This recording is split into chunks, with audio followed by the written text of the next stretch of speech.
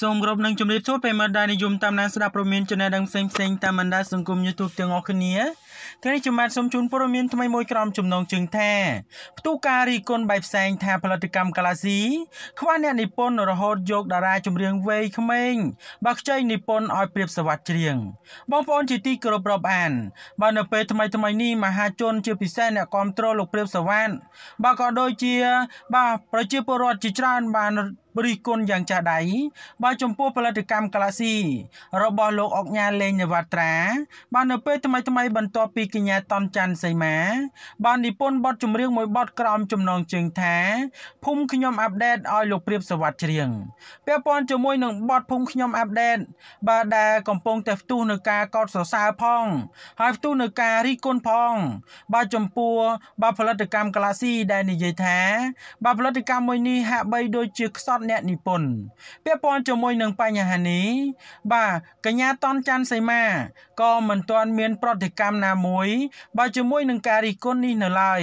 បាទចំណែកលោកព្រាបសវັດវិញ បាទក៏នៅត្រឹងហើយចម្រៀងមួយបទនេះវិញ បាទផ្ទុះនៅការគ្រប់គ្រងនិងចាប់អារម្មណ៍យ៉ាងខ្លាំងបាទអំពីសំណាក់បងប្អូនមហាជន ជាពិសេសអ្នកប្រើប្រាស់បណ្ដាញទំនាក់ទំនងសង្គមនានាដោយអ្វីដែលបងប្អូនអ្នកតាមដានព័ត៌មានបានទទួលជ្រាបមកហើយថា កាលពីថ្ងៃទី25 5ខែសីហា ដែលផលិតកម្មក្លាស៊ីនេវត្រារៀបចំពិធីចោះ បាទស្វាគមន៍វត្តមានកម្ពុជាតារាចម្រៀងល្បីឈ្មោះបាទវ័យចំណាស់មួយរូបគឺវ័យ45ឆ្នាំ បាទរូបនេះគឺលោកព្រាបសវណ្ណដោយឡែកការពីពេលថ្មីថ្មីនេះផងដែរផលិតកម្មក្លាស៊ីនវត្រា បានបញ្ចេញបទចម្រៀងជាបន្តបន្ទាប់ឲ្យលោកព្រាបសវណ្ណច្រៀងបាទចម្រៀងដំបងរបស់កម្ពុជាតារាចម្រៀងលោកព្រាបសវណ្ណច្រៀងដោយមានចំណងជើងថាខែភ្ជុំជ្រូកយំពេញត្រង់ និងបទទី2បើភូមិខ្ញុំអាប់ដេតឡាទន្ទឹមនឹងគ្នានេះផងដែរអ្វីដែលគួរឲ្យចាប់អារម្មណ៍ពេលនោះគឺបទថ្មីភូមិខ្ញុំអាប់ដេតគឺជាការបាននិពន្ធ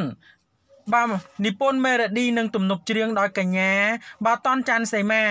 ដែលជាតារាចម្រៀងប្រចាំផលិតកម្មកាឡាស៊ីនវត្រា ហើយតនច័ន្ទសេមាបានសរសេរនៅក្នុង Facebook ថាពិតជារីករាយណាស់ជាលើកដំបូងសម្រាប់នាងខ្ញុំ បាទដែលបាននិពន្ធ បាទនឹងបើបងប្អូនចង់ដឹងអត្ថបទនឹងពីរោះប៉ុណ្ណានៅក្នុងនោះផងដែរបើមានមហាជនខ្លះបានរីគុណថាមិនសមណាបើយកតនច័ន្ទសីមាឲ្យនាង បាននិពន្ធចម្រៀងទៅឲ្យបើលោកព្រាបសវັດច្រៀងនោះទេ នៅក្នុងនោះផងដែរបើការរិះគន់ជាបន្តបន្ទាប់ហោហែតប៉ែលោតក៏បានកើតឡើងបើចំពោះការនិពន្ធបទចម្រៀងមួយបទនេះដែលជាស្នាដៃផ្ទាល់របស់កញ្ញាតនច័ន្ទសីមានោះបើដូច្នោះព័ត៌មាននេះមានប៉ុណ្ណឹងដើម្បីទទួលបាននូវព័ត៌មានថ្មីៗបន្ថែមទៀតសូម Subscribe និង Like